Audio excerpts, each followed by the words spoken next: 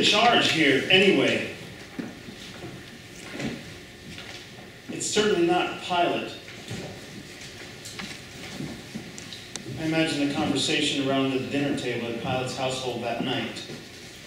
His wife, Drusilla, that's her name according to legend, says to him, So, honey, how was your day? Miserable. Miserable. Don't they know I'm the Roman governor? And I'm walking back and forth between Jesus and the authorities here in Jerusalem. I can't get a straight answer out of anyone.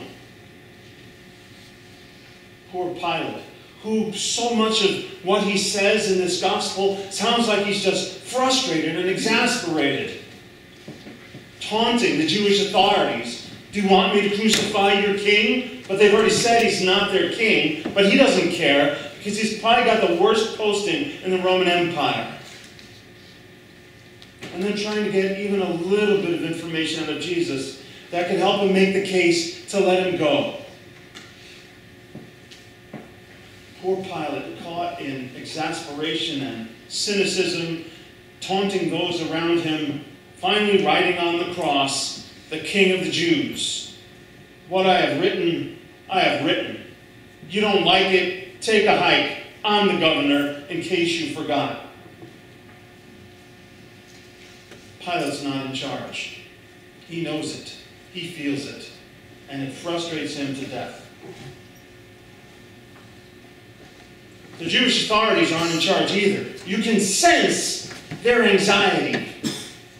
For a while now, they've been plotting to get rid of this troublemaker, this itinerant preacher, this rabble rouser, who, who's going to stir up the crowds and destroy the very fragile peace that they have here in Jerusalem between the governing Roman authorities, who are seen, and rightfully so, as oppressors, and their own hold on power over this whole temple cult and here's this Jesus threatening to unbalance the whole thing. And so long ago they plotted to get rid of him. And Lazarus in the bargain, who just becomes a witness to the power of this Jesus. But what if Pilate doesn't agree? What if the only one in the society at that time who has the authority to enact capital punishment decides on leniency instead? or life imprisonment or something like that. We want him done. We want him gone. We want him finished. And you can sense their anxiety as their accusations escalate. If you let this man go, you're no friend of the emperor. Because the emperor said that he was Son of God, and Pilate's anxiety increases in response. And then, in words of shocking self condemnation, we have no king but Caesar. We have no king but Caesar. And God gets kicked to the curb. God, the only real king Israel ever had. Ever happened to you? You say something you don't really mean just to save your skin or to get the thing that you want, and you can always apologize later or, or take it back or change the story. Unless you can't. And so the Jewish authorities say, We have no king but Caesar. Sorry, God. Can you let us off the hook for that one? And, and all to maintain their authority and control and this fragile peace that within 40 years would be shattered anyway, and the temple destroyed, and the people dispersed and scattered and thrown out of Jerusalem. The Jewish authorities, the local folk, both religious and secular, they're not in charge here. How about those disciples? They've learned something over the last three years. Long time ago, Jesus had told them that this was his destiny, even to the detail of the cross. They knew what was coming, and with knowledge and foresight comes peace. Accept. in the garden, they were all ready to pull out swords. They're ready for the insurrection, the revolution.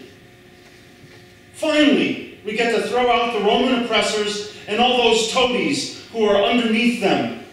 Finally, we get to run things.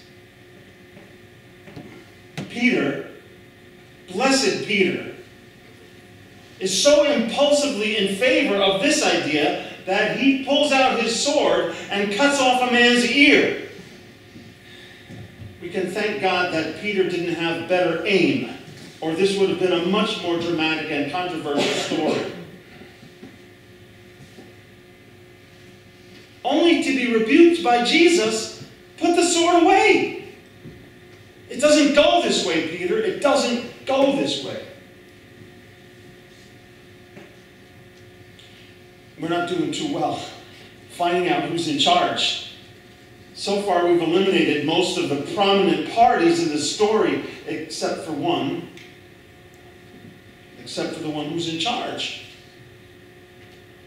who never really claims that authority, who never really lays claim to that power.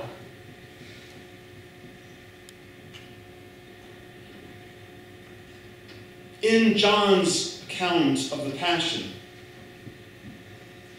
Jesus holds absolutely all the cards. Now, I don't know about you, but that little scene there where the high priest is interrogating Jesus and he says, If you want to know what I'm all about, just ask the people who've been listening to me. They can tell you. And in reaction to that, one of the high priest's soldiers, indignant at that kind of an attitude on the part of Jesus, slaps him in the face and says, Is that the way you talk to the high priest? And maybe the answer is yes, only if you're over him, have more authority than he has. But that wasn't being recognized at the time.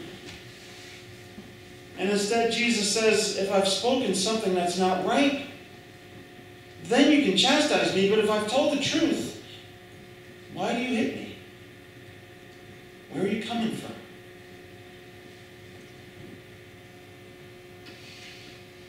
I think too, and this may not be quite right, but you can get back to me on this, that Jesus almost taunts Pilate. In the midst of his frustration and anxiety and exasperation, Jesus says these things, or doesn't say things, that only make Pilate even crazier. For this I came, to testify to the truth. And Pilate's thinking, listen, man, in my hands. Talk to me straight, or you're going to be dead. But Jesus is in charge here. He knows what he's doing. He understands his mission and responsibility, even to the point of giving himself to be crucified. Telling Peter to put away the sword, and the soldier of the high priest not to slap him, that he's only reacting out of his own frustration, telling Pilate that his integrity has nothing to do with the Roman occupying forces. And then at the end, at the crucifixion itself, it's pretty remarkable.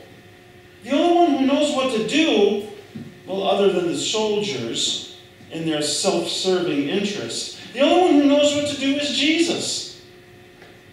He sees his poor mother totally bereft at this unjust loss of her son. And he makes provision for her. From the cross, sisters and brothers.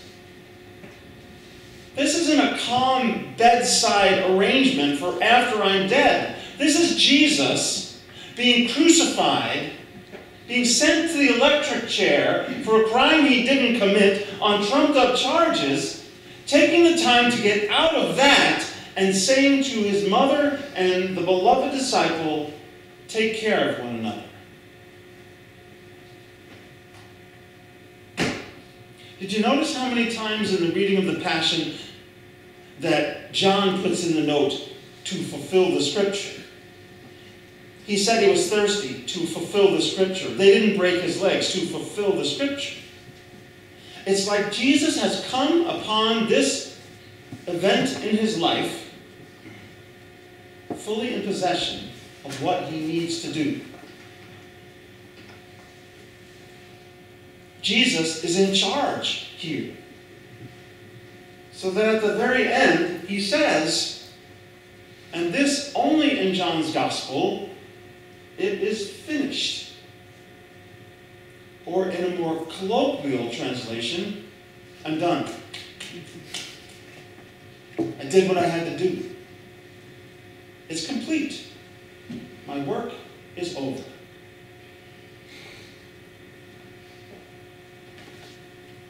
So, as you kind of wrap your head around all of the action that takes place and what it is that we're doing here tonight, keep your eyes on Jesus.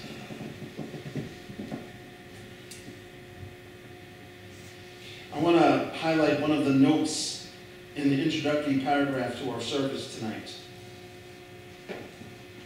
While it is indeed solemn, Good Friday is not the funeral Jesus never had.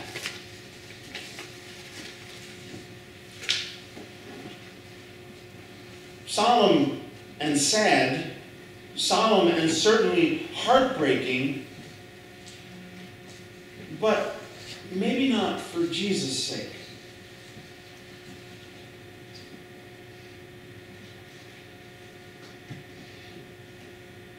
You see, as I, as I struggle with Good Friday, which in its very name causes a kind of cognitive dissonance there, a, a, tension. Good Friday, we're celebrating the crucifixion of Jesus. As I struggle with Good Friday, and I do this every year, but hopefully with a little more clarity each year or a different perspective on what this day means, I struggle with that tension between this victorious Jesus who is fully in charge, and the fact that he's crucified.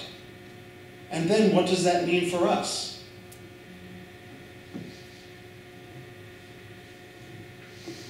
If it's not the funeral Jesus never had, it's still tragic, isn't it?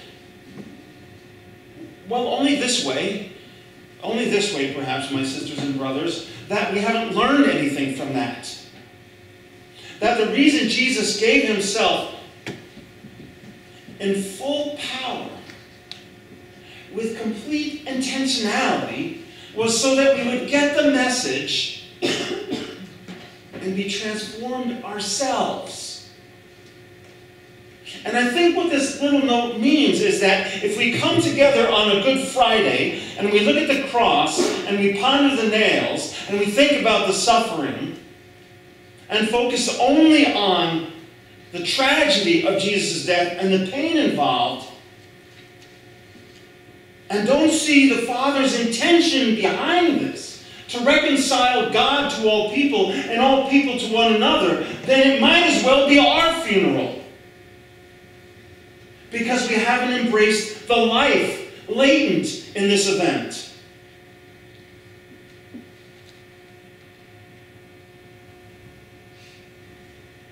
I, have a, a little bit of a dramatic streak, perhaps, or, or even a maudlin streak, a little bit of a maudlin streak that, that likes to be grumpy sometimes.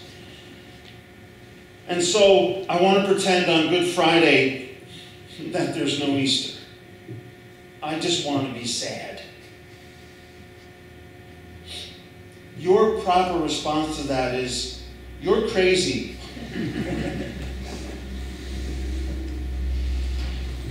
But what kind of blows my mind about John's perspective on all of this is he says that you don't have to wait three days for the glory. It's right there on the cross. Jesus says, And I, when I am lifted up, I will draw all people to myself. There's the glory in this self giving God who's willing to give us a different picture of who we are.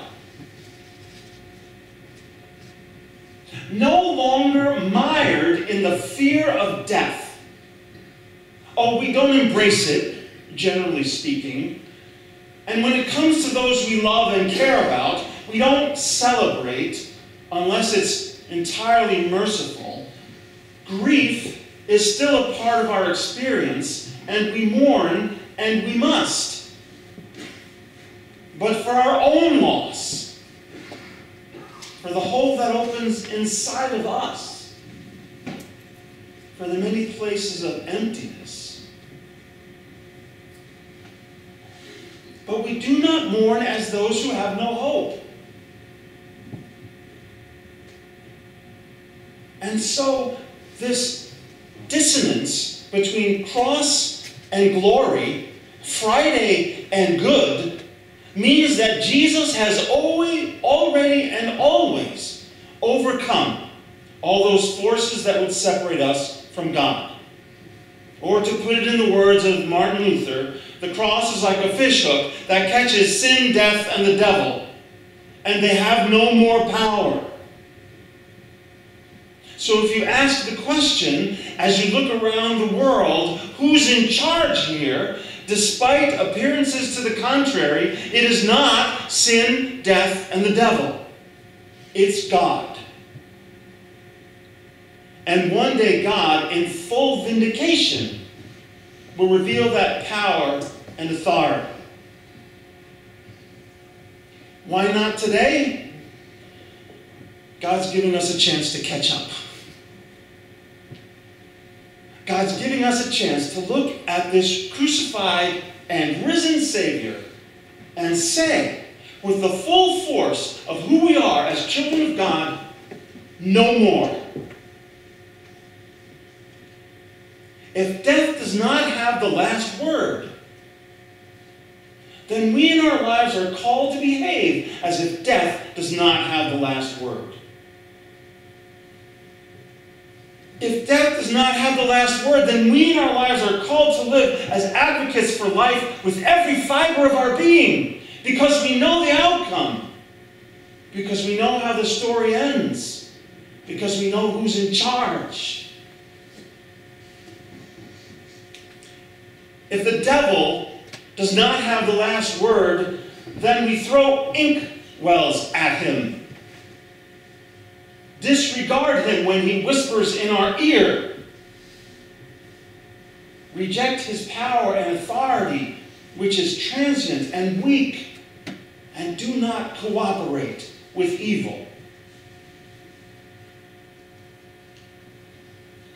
If sin does not have the last word, then we sin no more. Would that it were that easy.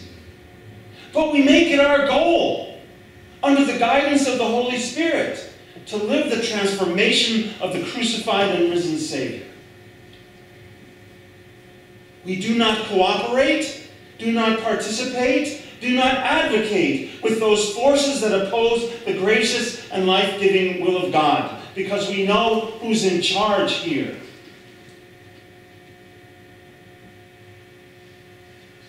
And so maybe the reason that Good Friday is a solemn occasion and not a funeral is because the reality of this vindicating God who will come and just sweep everyone away in this awesome tide of love and grace and newness makes us stand back and gasp. Why? How could God do this? Paul understood.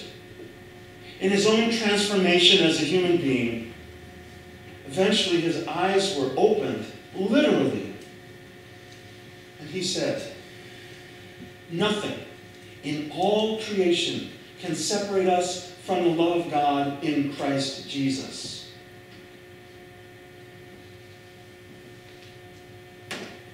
What good news. What a good day. Nothing is true now and not just in the future.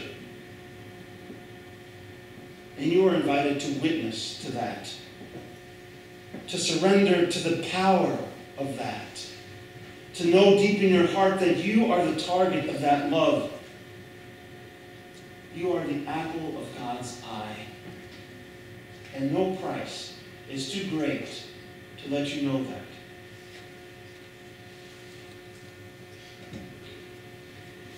We will be human, sisters and brothers. We will be who we are in this fallen world. But we are also the people God has made us to be. We will fear, we will grieve, we will hate. We will speak words we shouldn't speak and do things we shouldn't do and fail to rise to the occasion when we ought to. And then we will ask forgiveness and resolve and surrender to a better way. Because despite appearances to the contrary, you know as much as I who's really in charge.